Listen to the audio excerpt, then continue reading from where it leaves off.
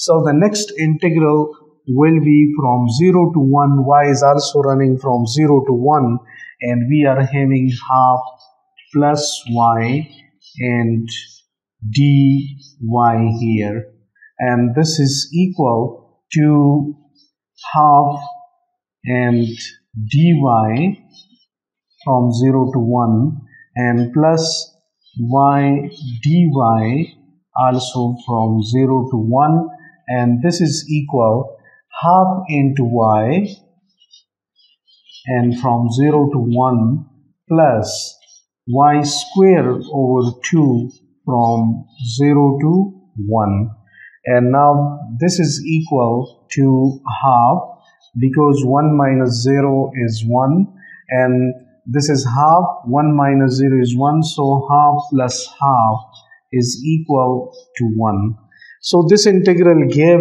us 1 now we calculated up to dy this thing and now 1 dz will be integrated.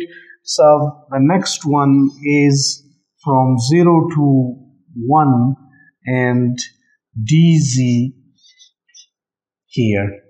And this is 1 dz so it is dz and it is z from 0 to 1 so this is equal to 1 so what we got here is a result of this. Now put these values together. We are having the divergence of the divergence of V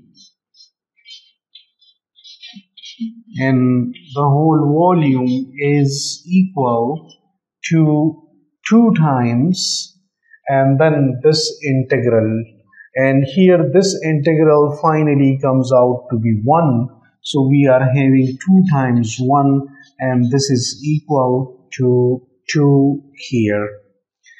And now we are done with the left hand side of this equation. And let's say this is our equation 1 here. Now we will calculate this vector function along the face 1 along face 2, 3, 4, 5 and 6 and we will add up all those six faces. So the very first one, let me, uh, I will now write the things uh, in simple form. So the very first face here, let's calculate the very first face here and what is the value of v dot dA along this one? It's a closed surface it's a cube. So along what is the VDA here along the first face here? So this is equal. V is equal to this and what about dA here? I will write the value of dA here along the x-axis means it is in the x unit vector and it will be the dy and the dz here. So this is equal to dy and dz here in x unit vector. Because it is along x-axis the variation of this face is y in z and along the x unit vector. So what about v dot dA? We are having along the x unit vector, the other will give a 0. So this will be equal to y square dy dz. So it is equal to y square dy and dz here.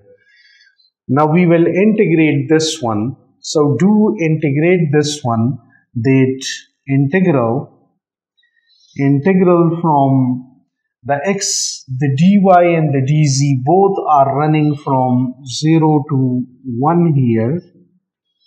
And y square dy and dz here. Now we will do calculate this one. And to do this one then first do this one it will come out to be y cube by 3 y cube by 3 means integral. This is integral y cube by 3 and y cube put the limits 1 0 and it will come out to be 1 so it means it is just 1 by 3 and then 1 by 3 dz. So 0 to 1 and 1 over 3 dz here so dz will come out the integral will come out to be z and then from 1 to 0 will come out to be 1 so it means this side comes out to be 1 over 3 and now when I just write the next face which is in the opposite x direction then for the opposite x direction it will be again dy dz but in minus x direction and the v dot dA will be just minus times y square dy dz and the result will be just means minus will come outside. So the whole result will be multiplied with just minus. So it means the second calculation will give us is integral will be minus from this one this one and it will be equal from 0 to 1 0 to 1 and here will be minus as well. And y square dy dz and this will be equal to minus 1 over 3 and now I do calculate the third face and the third face will be the third face is equal to what about the dA on the third face. So the third face is along y-axis. It means it will be in the y unit vector and dx and dz will change there. So dx and dz and it is along the y unit vector.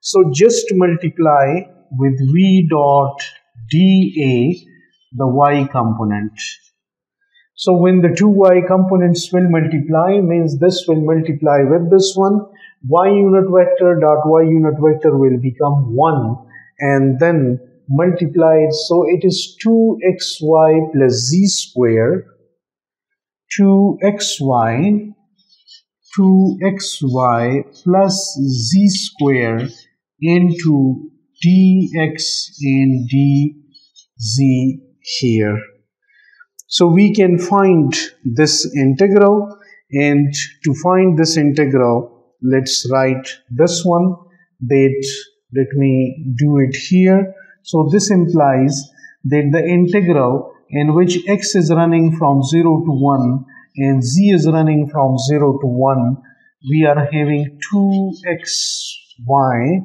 and plus z square and dx dz. Now here in this equation, I know that y is equal to 1. There is no integration on y and y is equal to 1 here on this face. So I will have this equal, this integral equal means this term will go to 1.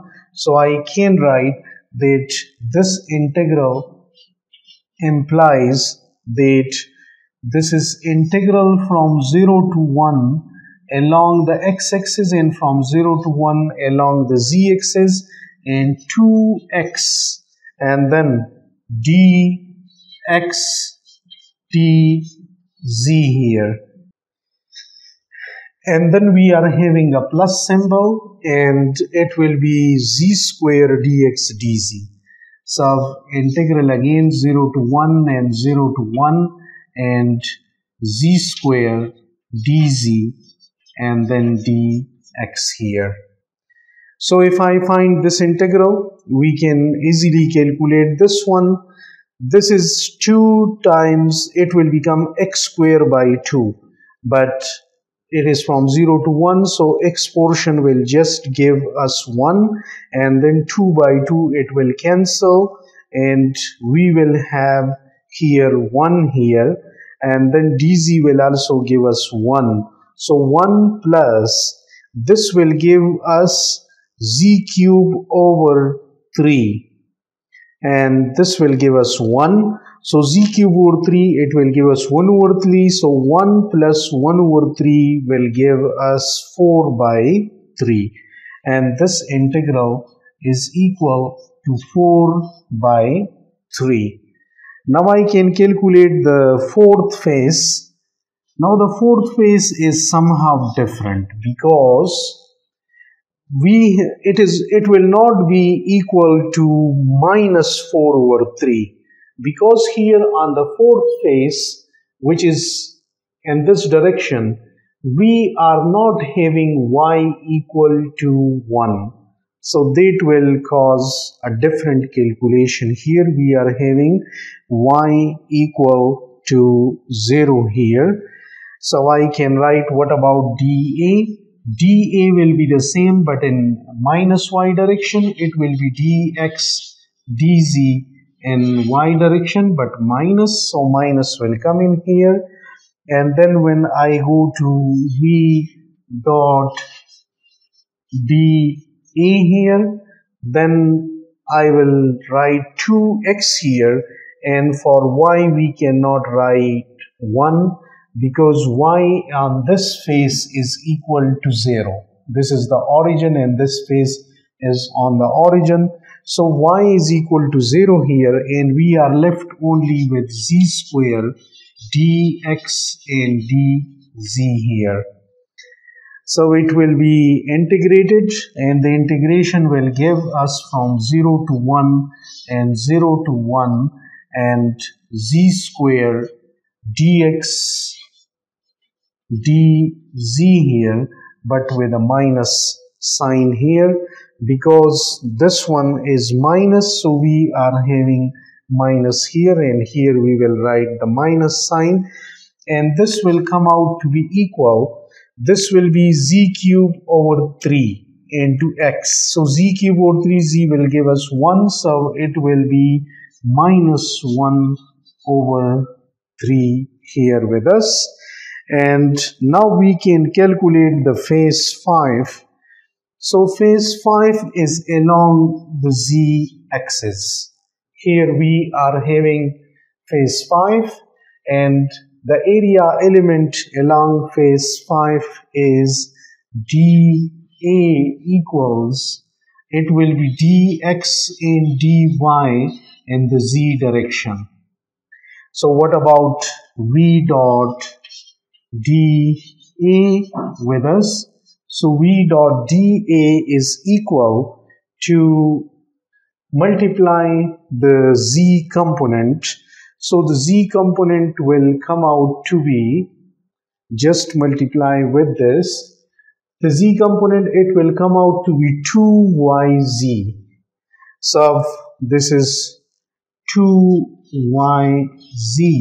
and then dx dy dx dy here is we don't have any integration on the dz here and the z value here is 1 on this face. So we will have this thing equal to z equals 1 so it is 2y dx dy it is equal to 2y dx dy and now I can find its integral.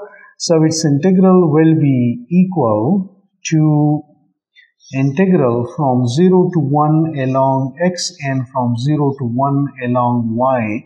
And this is 2y dy and dx now this will become y square by 2. So 2 2 will cancel, y square will give us 1 in these limits and here it will also give 1 so this thing is equal to 1 here. And when I calculate the sixth face and the sixth face is that its area element will be the same but in opposite direction minus dx and dy and the z direction. And what about v dot dA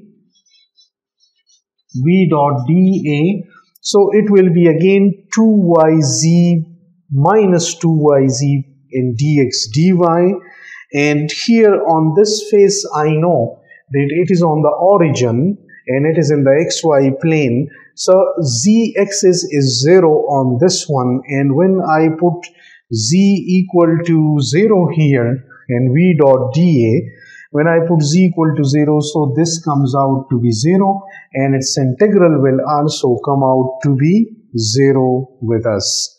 So now I have all the faces with me and I can now add up all of them.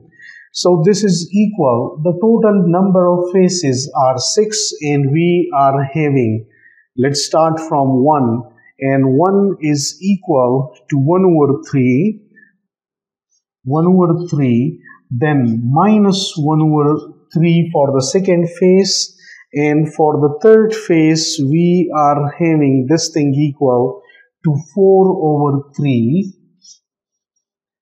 and then for the fifth face we are having this equal to minus 1 over this is 4 over 3 and this is minus 1 over 3 and here we are having this equal to minus 1 over 3 then the fifth face is equal the fifth face is equal to 1 here.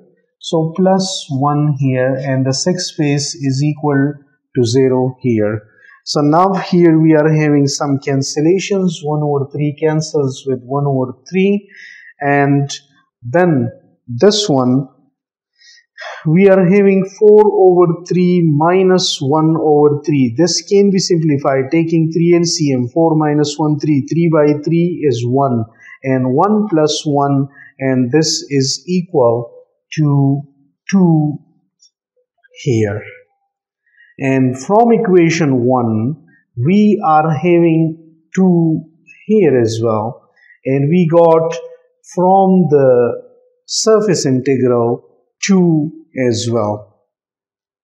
So this proves our fundamental theorem for divergence. So this tells us that if we take the divergence of that physical quantity in a given volume, it is the same if we take the flux of that quantity and definitely it, this flux is on the surface. So this theorem actually just eases us one dimension in our calculation. Here the calculations are in a volume and here the calculations are in a surface.